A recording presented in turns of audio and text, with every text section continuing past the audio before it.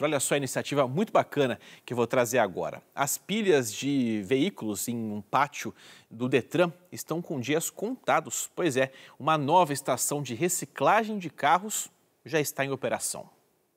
Eles já foram desejados, queridos e já trabalharam no serviço pesado. Já cumpriram sua missão e o destino agora é a reciclagem. E a partir de agora, esse processo acontece nessa estação vinculada ao Detran em Cachoeirinha, na região metropolitana de Porto Alegre. Os carros chegam em containers já sem as identificações como placas e o chassi. Depois a bateria é retirada e o veículo passa para o elevador. Um profissional retira o óleo da caixa de câmbio e do motor. Os fluidos, que são líquidos como o combustível e o óleo, vão direto para um tanque de coleta específico.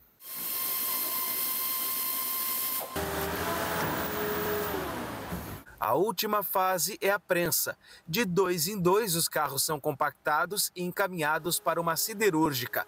Lá, esse material vai ser triturado e as peças metálicas serão reaproveitadas. Hoje, a gente está com uma capacidade de até 50 veículos por dia para que passem por esse processo e pretendemos aumentar cada vez mais. Qual a expectativa para o Detran acabar com um, um número tão grande de, de, de veículos uh, e, e, a ideia, né, talvez de que 100% dos carros possam passar por esse destino daqueles que chegam nessa fase? É, a, o nosso grande objetivo é que todo o veículo que esteja registrado no Rio Grande do Sul tenha o seu cuidado ambiental no encerramento do ciclo de vida.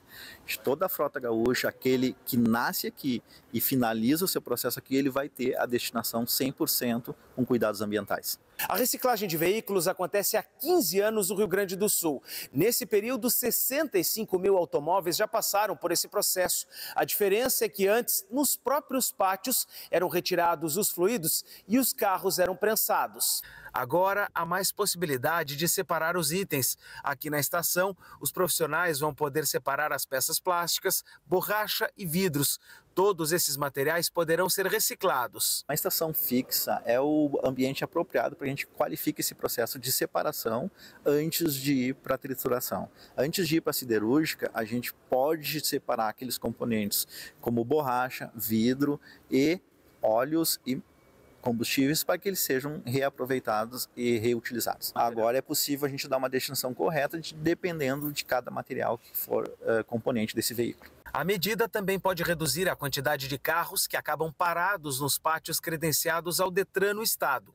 Hoje são 137 mil veículos em depósitos. Quando um carro é recolhido, ele fica até 60 dias aguardando o proprietário, que deve pagar as taxas ou pendências para poder reavê-lo.